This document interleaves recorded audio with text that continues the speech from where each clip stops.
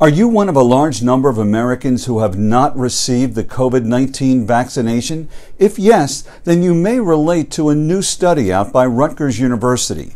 It surveyed black and Hispanic community members who are still skeptical about the vaccine. Researchers found that participants questioned how a vaccine for a new virus could be produced so quickly when vaccines for other diseases have yet to be developed. They also worried that clinical trials had been rushed and wondered about possible side effects. While it's true that they were developed much more quickly than past vaccines, they were still subject to large trials and strict review by independent scientists.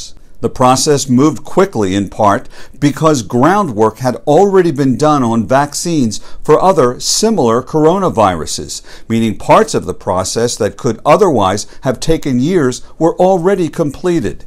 In addition, trials were combined and manufacturing began before those trials were completed. With the Delta variant sending a tidal wave of unvaccinated people to the hospital, researchers urge health officials to work with trusted community leaders and health professionals to provide transparent information.